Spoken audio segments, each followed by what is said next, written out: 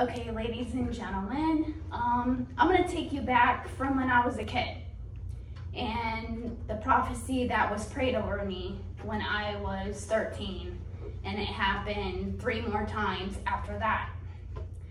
Um, I was prayed over that God would use me in a mighty way, and He would use me to save many for His kingdom.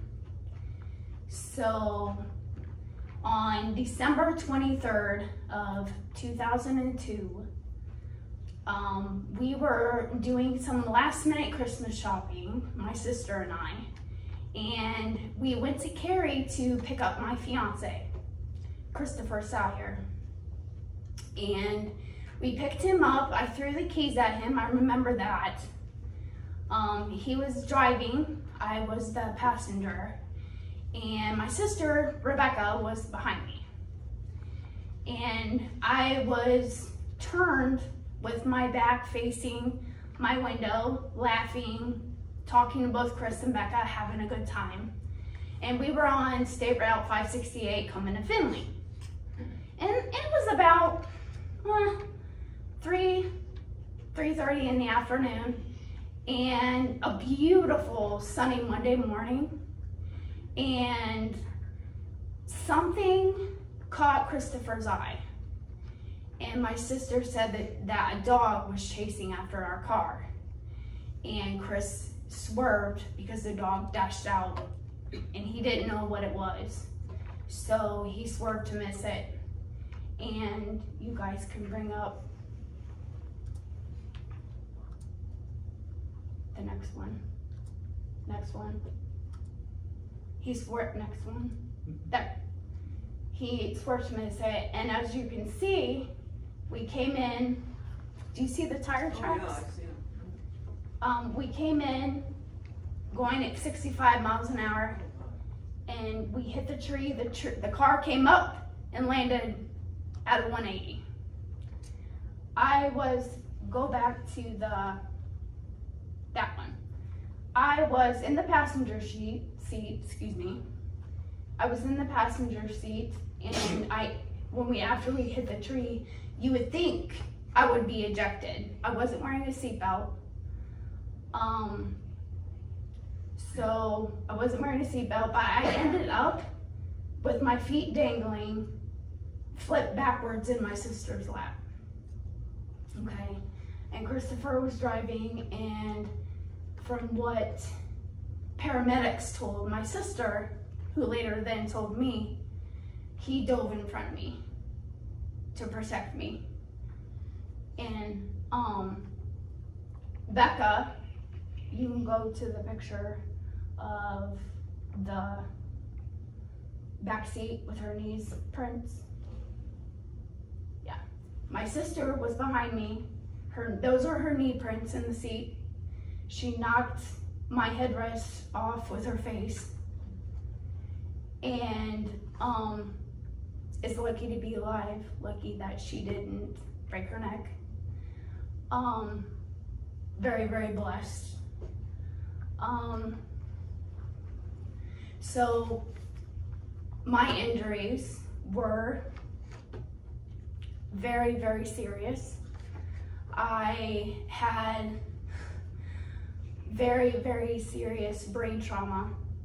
My parents tell me that I should have died, that the doctor came to them after reading my brain scan and told them that I shouldn't have made it through. That the lesions on my brain should have killed me immediately, but they didn't. Thanks, thanks to God Almighty for that. Um, I uh, blew out my ankle. Um, it was out of my skin. Um, I crushed my humerus. I um, had all my ribs broken but one. I had a broken jaw. I had, um, let's see, brain, jaw, um, wrist, humerus, my um, neck. I had a Christopher Reeves injury done to my neck. Um, the only difference is why I'm walking and he's not is his spinal cord was snapped, mine was intact. But the same was my muscles and my ligaments were shredded away from my neck. So my spinal cord was flying around freely inside my vertebrae. So neck, humerus, wrist, blown out ankle, my pelvis was broken in three places. Um, they had to end up life flighting um, Chris and I because I took a turn for the worse at the accident site um, in the same helicopter flight. And um, as you, as you can show the picture of the roof, as you can see, they, they had to take off the roof because I was pinned between the ceiling and my and my seat. And Chris was laying down because he, he dove in front of me. My sister said that uh, an angel got her out of the car before she saw Chris because he was in pretty bad shape. Um, so they had to end up taking off the car, got us out, ended up life flighting us to MCO, where they told my parents that I should not be alive. Um, when after they read my brain scan, they told my mom that she shouldn't be here, that she has lesions on her brain that should have killed her, and she would only come back to you maybe 20%. That I would be a vegetable for the rest of my life.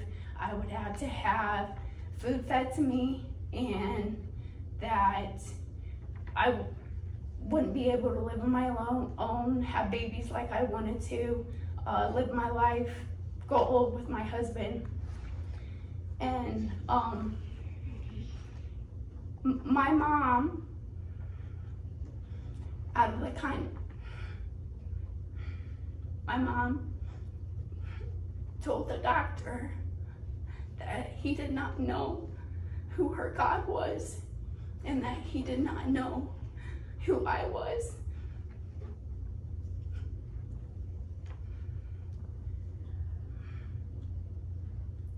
She will recover. The next week, the doctor, the doctor um, came back after reading a brain scan and told my mom that he made a mistake what was the percentage that he made a mistake? What, how much did he say? You switched it from twenty percent to eighty percent. He told her that I would come back 80%. And again, my mom said, You don't know my God, and you don't know my daughter. She's gonna come back to me 100%. And you have to, I'm gonna backtrack a little bit because I told you guys to remember something. To remember the prophecy that was prayed over me. When this accident happened, and I was not expected to live, um, my dad looked at my mom, grabbed her hands, and said, Honey, we have to hold on to faith we have to hold on that God's not through with her, that she has a lot in store. What was prayed over her, we have to hold on to that. No matter what is told to us, we have to hold on to that. So she's like, okay, we will.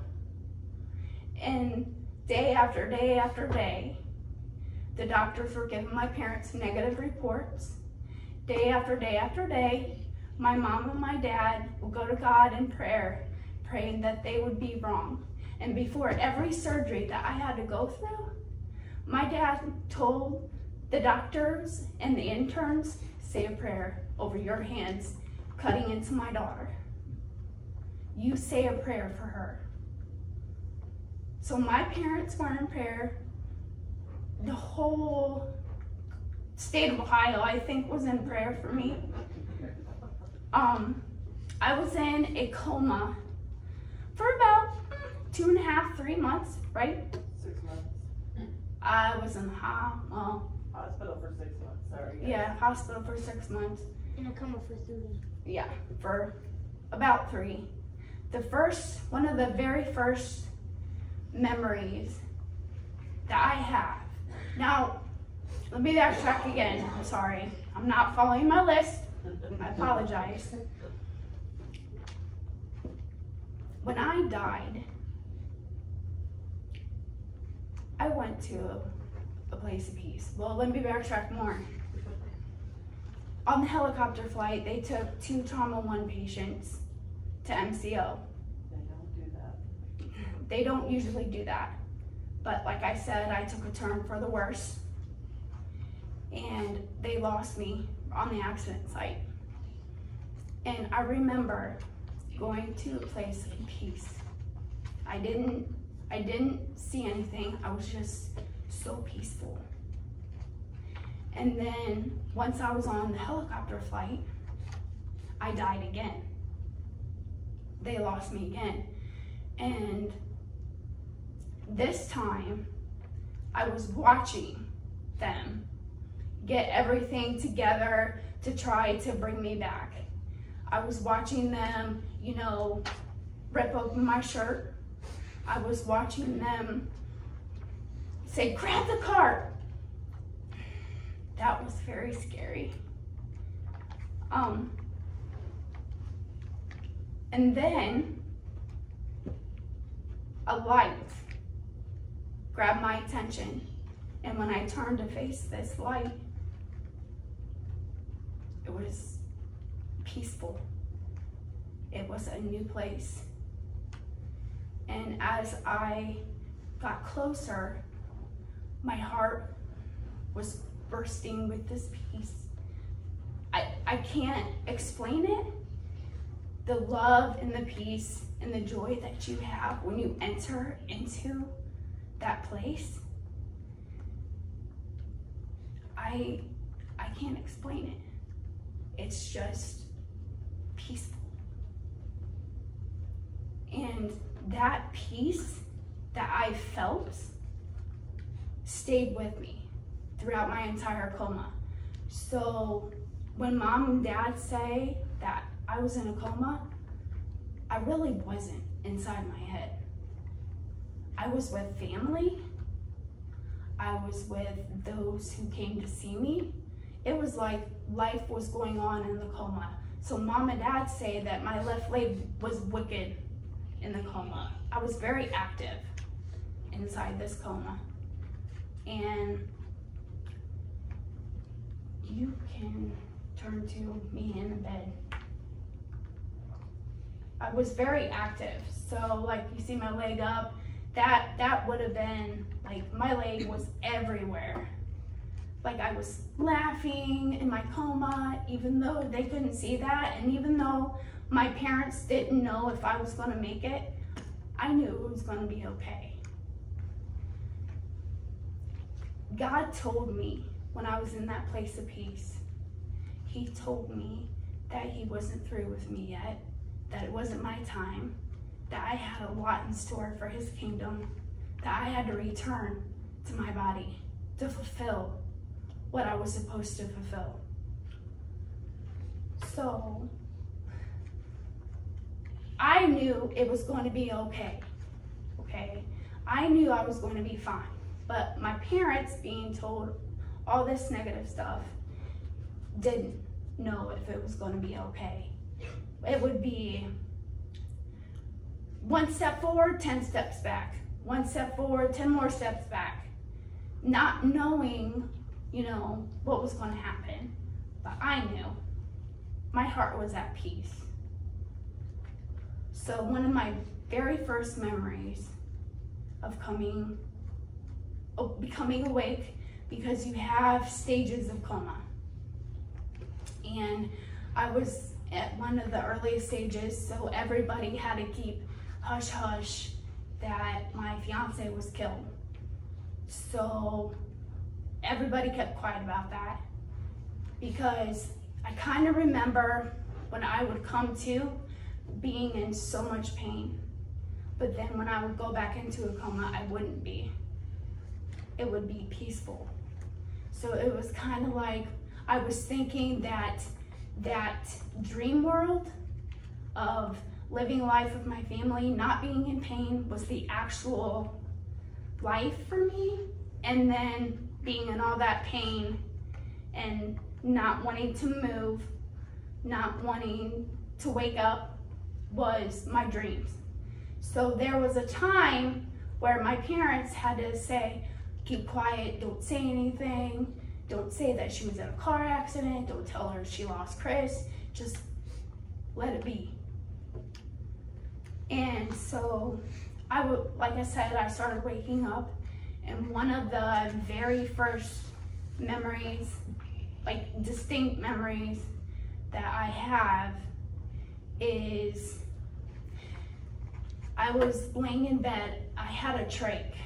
And so I kept, they had a cool mist collar on the trach and I kept pulling at it in the, in the coma, like I knew it wasn't supposed to be there. So I kept pulling at it.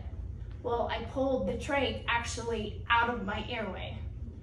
And my mom said to a nurse at Fairhaven, I think her trach's out, it looks weird. And she kept telling nurses this.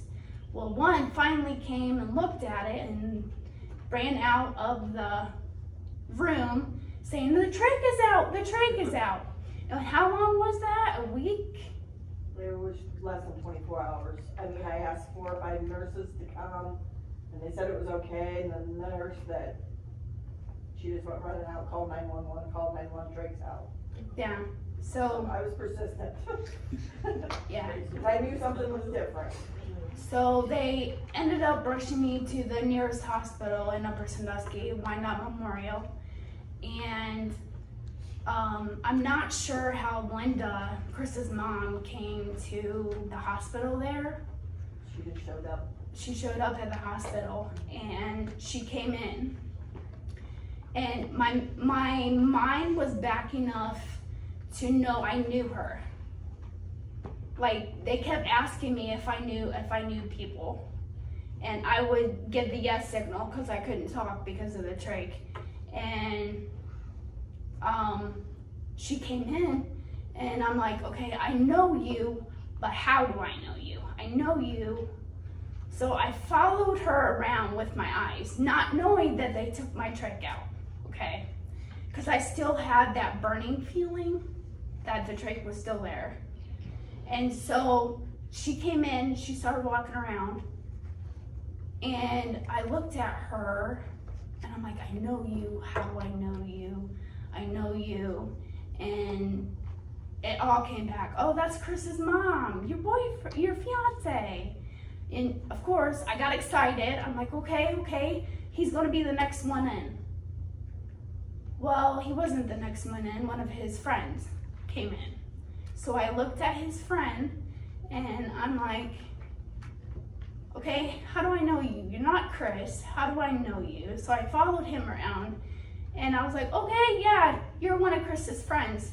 He's gonna be the next one in. Cause I was thinking maybe, maybe he wants to see their reaction before he came in. So he came in, he went off in the corner and said hi to me and asked if I knew him and I said yes. And, and so he sat down and then another one of Chris's friends came in and um, I followed him around with my eyes. I'm like, okay, you're not Chris. How do I know you? So I was playing in my head, you know, okay, that's another one of Chris's friends. And they asked me if I knew who that was, and I said yes. And so then I kind of looked from him back to the door.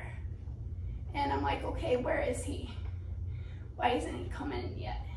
Where is he? Why doesn't he want to see me? I want him to come in and see me. Come in, Chris, come in and see me. Well, um, he never came in, so my mom asked me, Mandy, is there something that you need? Is there something you want to know? And I said, yes. And she's like, why don't you write it down? Well, you have to remember, Well, I didn't say I was paralyzed on my right side. I was paralyzed on my right side too. That's why they thought I was gonna be a vegetable. And um, I wasn't left-handed. I was right-handed, and I was couldn't get that side to move. And so, mom hands me this paper and pen, and she's like, "Write down what you want." I forgot how to spell. I forgot how to make a letter. I got so mad, so mad that I just made circles. I just made circles and I got so mad and I pushed it away. I pushed it away from me and uh, mom grabbed the notepad. She grabbed the notepad and she took Linda and my dad out to the hallway and asked, does that say Chris? And everybody said yes. So somehow she got Chris out of all them circles. So dad comes back in. He's at the foot of my bed. Linda's on my right and mom's on my left and they grab my hand and I'm like, what is going on? Where is he? And uh, um, dad's like, Mandy, Chris is in a safe place. And I said, I said, oh, I didn't say, I was thinking, okay, where is he? Where is he? He can't see me. He can't see me like this. I knew I was in an accident, but I thought it was just me. And I'm like, he, he can't come in. He can't see me. And Dad said, you remember us telling you about the accident that you were in? And I said, yeah. And he's like, well, Chris was killed. He's in heaven with Jesus. God revealed to me that he's in heaven. And I kind of, I kind of, you know, rolled that around in my head. And, um, I, I, I kept, I, I couldn't shake my head, but I kept, I kept looking down, like not looking at anybody. And, um, Dad's like, Mandy, your trach's out. You can't talk. You can ask us anything you want to ask us. And, or you can say anything you want to say. And I knew that my parents couldn't answer why,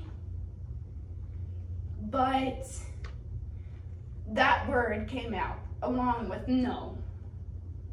So I screamed, no, why? No, why? And that was the only words I could get out because my throat was on fire. Dad's like, we, he said, Mandy, we don't know why. Only God knows why. But it's okay to be mad at God. It's okay to ask him why. It's okay to be mad for a short while. But do you remember that peace I told you about? my heart was at peace. So I was like, why would I be mad at God? In my head, like I couldn't get it out, but I'm like, no, I'm not mad at God. No, I don't know why he took Chris. I don't know for sure if Chris is in heaven.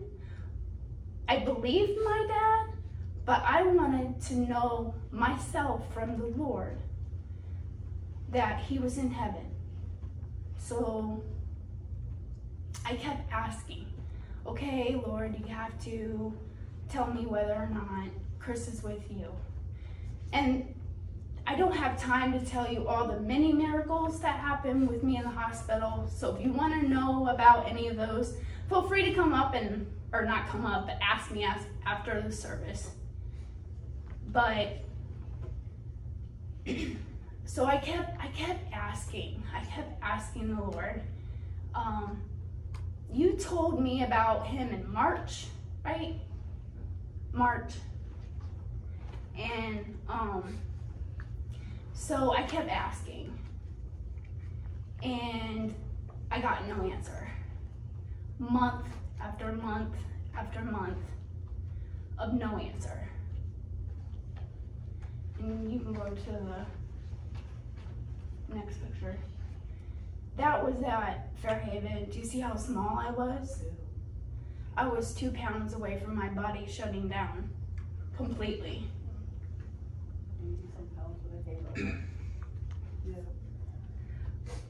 So I kept asking and I got no answer. And no answer month after month.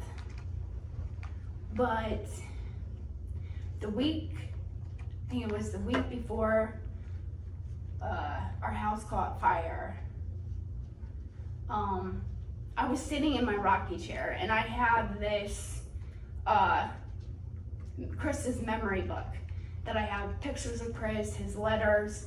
Um, I have like, it's kind of like a tribute to him. And so I would write him letters, he would write me letters, and so I would write to him even though he was gone. And um, I was like, Chris, I don't know where you are, but I want you to know that I love you and that you will always be a part of me. My pen stops. I can't get my pen to move.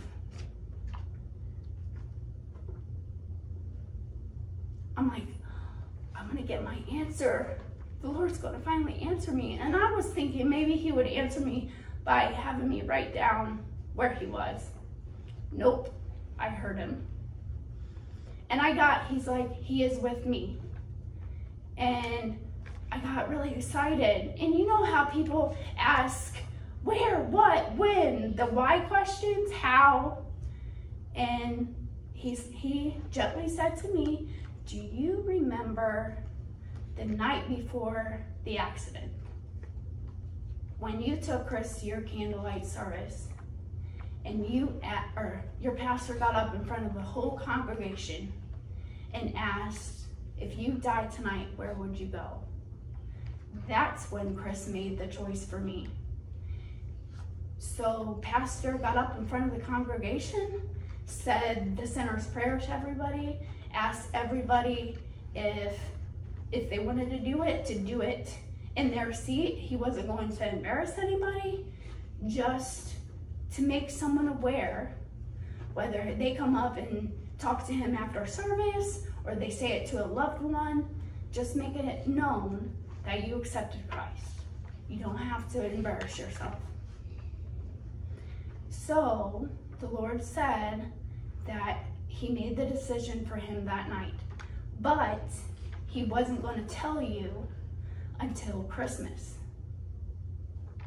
Well, the accident happened on December 23rd. The candlelight service was December 22nd. Folks, we are not guaranteed tomorrow. There is nowhere in the Bible that says you'll be guaranteed tomorrow. What is in the Bible is through Jesus you have eternal life. Make the decision for Christ today. Pastor Bill. Josh, you don't mind keep recording just for another minute?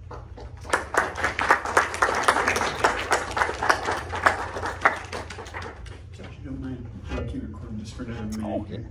So I think it's important for everybody who's able to uh, observe this testimony and be able to hear it. Uh, I, I think this is very important. That uh, Mandy, I, I like how you started off. That you shared a prophecy that was shared uh, with you, and uh, that you'd be able to reach thousands of lives for Christ, and that many would be saved through your testimony. And the scripture that comes to my mind is that the gifts and promises of God are irrevocable.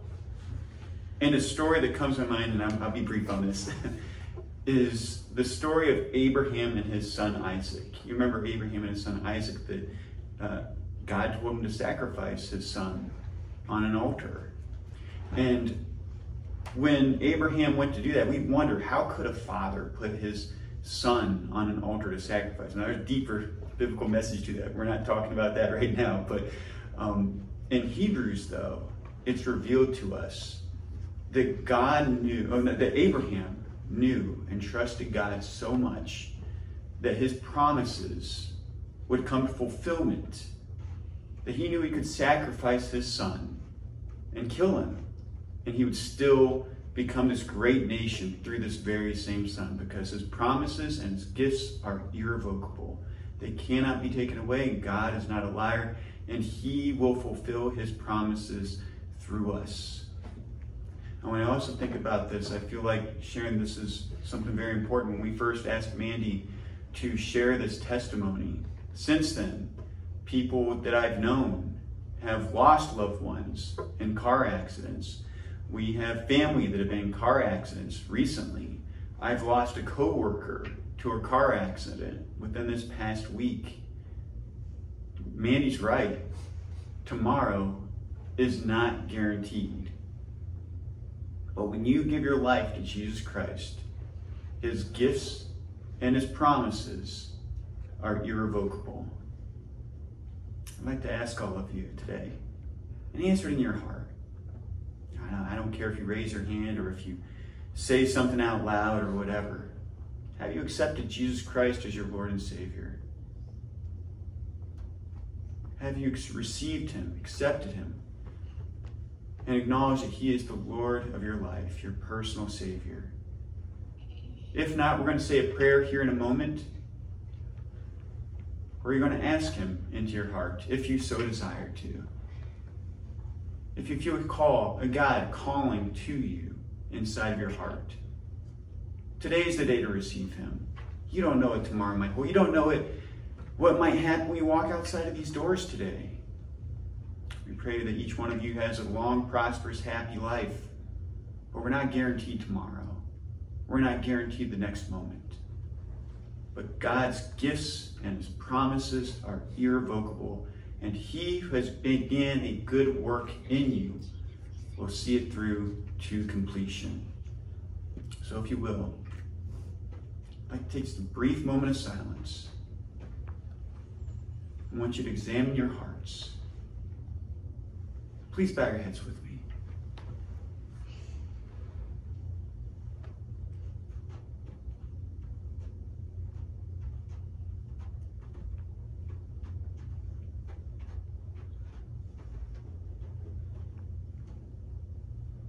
Nobody's looking, nobody's looking around to see what your reaction is. I'm not asking for people to raise their hands, but I want you to answer this question in your heart. Is Jesus the Lord of your life?